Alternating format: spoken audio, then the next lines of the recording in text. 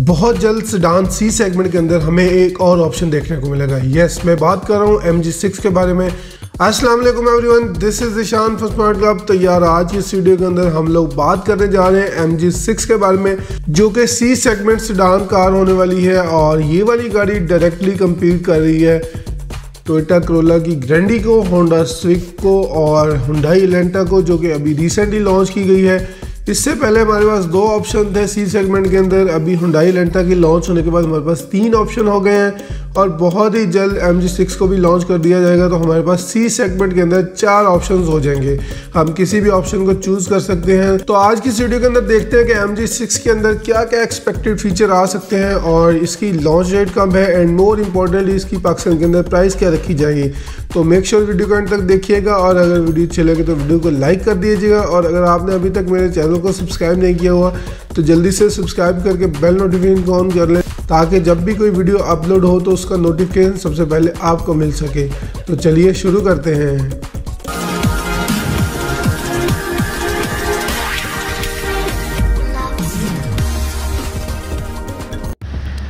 जैसा कि आप लोगों को पता है कि मॉरस गैरेज एक ब्रिटिश ब्रांड था, और लेकिन अब उसको चाइना ने परचेज़ कर लिया है, और अब उसको चाइना ऑन करती है। आज की इस वीडियो के अंदर हम लोग जो गाड़ी डिस्कस करने वाले हैं वो है एम जी सिक्स और ये वाली गाड़ी मार्केट के अंदर होंडा स्विक 1.8 टोयोटा ग्रैंडी 1.8 को कम्पीट करने वाली है। तो जो लोग टोयोटा ग्रैंडी या होंडा स्विक 1.8 लेने वाले हैं, उनके लिए मैं यही रिकमेंड करूँगा कि एक और चॉइस नहीं आ रही है आपके लिए पाकिस्तान के अंदर। तो आपको ज़रूर वेट करना चाहिए, ये वाली गाड़ी देख लें, फिर बाद में आप डिसाइड कर लीजिएगा। अब बात कर लें अगर इसकी इंजन स्पेसिफिकेशंस की तो यहाँ पे आपको 1.5 litre turbo charge four cylinder petrol engine देखने को मिलेगा। जो कि 170 हार्स पावर और 250 न्यूटन मीटर का टार्क प्रोड्यूस करेगा।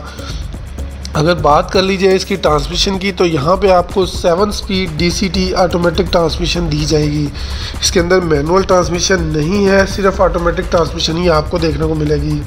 फ्रंट और बैक लुक का डिज़ाइन बहुत ही ज़्यादा कमाल का बनाया गया। फ्रंट साइड के ऊपर आपको एमजी की तरफ़ से बहुत बड़ा लोगो और एक बहुत सारी शानदार किस्म की ग्रिल देखने को मिलती है।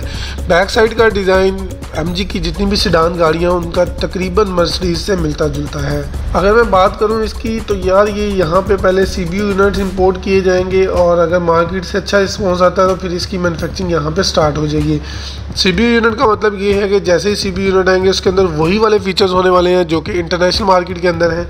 तो यहाँ पर आपको बहुत ही ज़बरदस्त किस्म के कमाल के फीचर्स मिलने वाले हैं, जो कि हमें पाकिस्तान के अंदर पहले किसी भी गाड़ी के अंदर देखने को नहीं मिले हैं। ये ऐसे ही है जैसे जैपनीज़ गाड़ी आप इम्पोर्ट करते हैं और उसके अंदर वही वाले फीचर्स होते हैं, जो कि जापान के अंदर या इट जो भी जिस कंट्री के अंदर वो गाड़ी चल रही होती है, उसी के अंदर होते हैं।